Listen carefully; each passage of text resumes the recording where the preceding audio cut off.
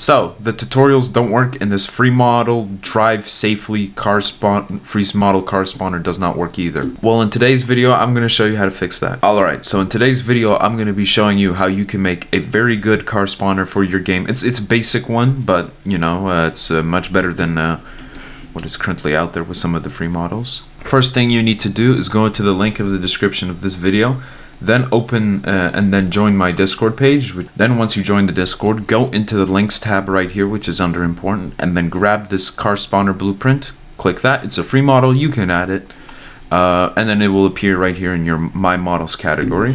So and then you take this out and then you'll have this. And I'll show you how to install this. So first thing that you want to do is just leave this. This is uh, this is already programmed. This is pretty good. I'll explain how the scripts work in a bit but I'm just trying to make this very quick.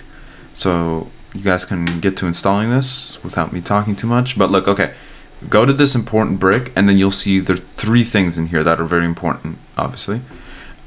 Take this vehicles folder, this folder, and then move it to server storage. It's very important you put in server storage, not server script service, but server storage. Keep that in there. And the reason why we do that is if you open this up and then you go down here, and if we take a look, if you go here, this thing right here, uh, this this part right here is basically telling the game is like, yo, there's something in the server script storage and you're gonna have to spawn that. And that's basically what the script is saying. And so that's why this is the most important part. It this should have the same name as whatever you have down here.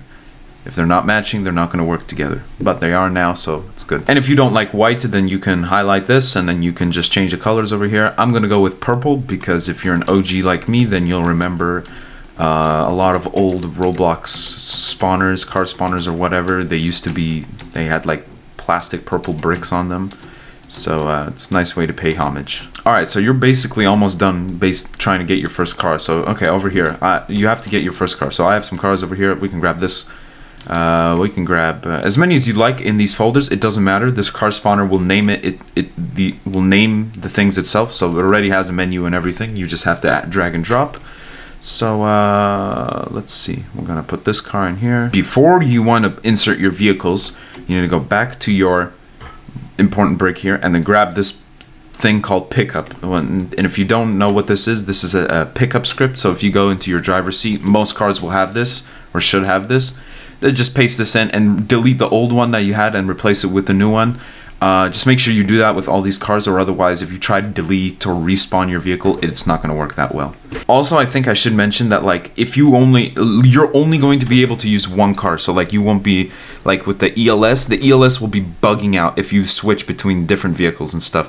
So like if you take a car your car and then you try using your friend's car then like their els won't match and it will just cause problems and the car will get confused and it will think that this car is actually your car and uh, yeah, but you shouldn't run into that problem. It's just only one card that you'll use. That's why games like Liberty County and Society don't allow you to change different vehicles because otherwise the scripts won't work. So, fun little factoid. And as you can see, it's it's like a bare bones menu. I mean, this works. It still works. It's very good. And look, automatically the stuff is named by itself, and then it's like a loop thing, so you don't have to press back if you don't want to. But if you do, that's cool. All right, let's spawn something.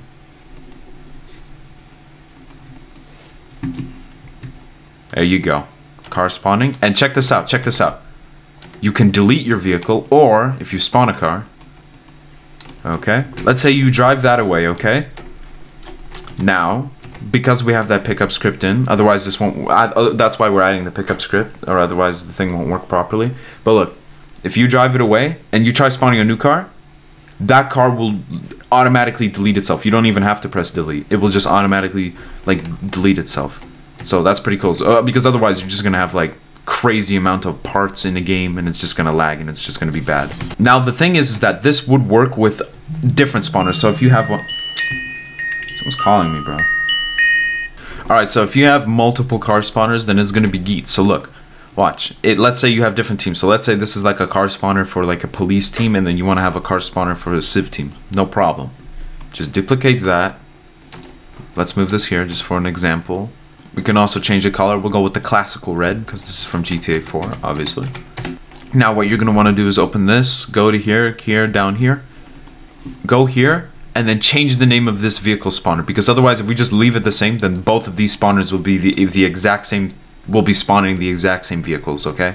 There'll be no difference. So like you can duplicate these spawners and stuff.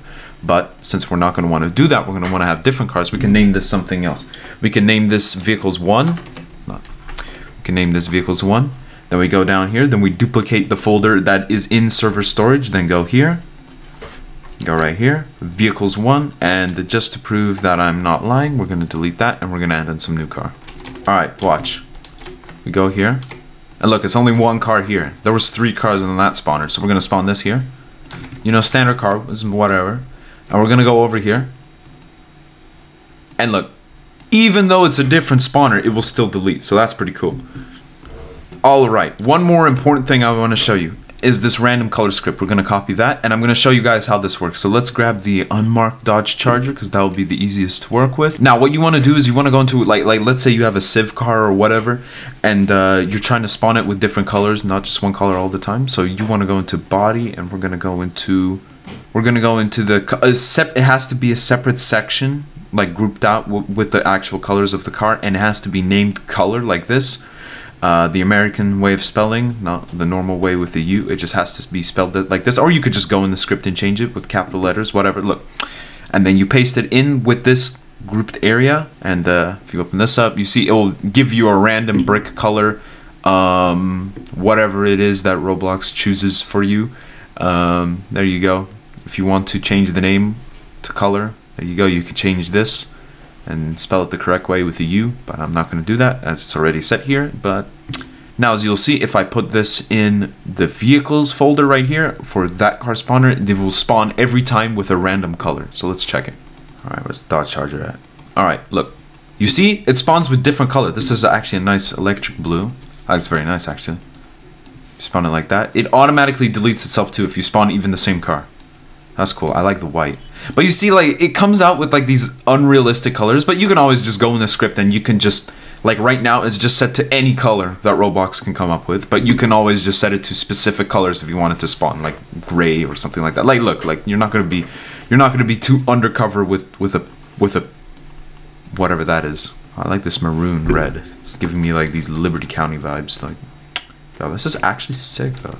This is cool. Yeah. Yeah, bruh. This is cool. All right, so yo, that's, so that's pretty much so that's pretty much it. That's pretty much all I have in that blueprint kit, whatever you want to call it, uh, for spawning your car. This is basic. I mean, you can always just adjust the GUI if you want to. You can add pictures and things like that. But this is the basic, basic. This is the proper way of doing it. I don't know. What do you guys think? leave your opinions in the comment section below. Uh, I think it's pretty good. But yeah, either way, that's that's pretty much it in the video. Thank you guys for watching and have a nice day. Bye-bye. Peace.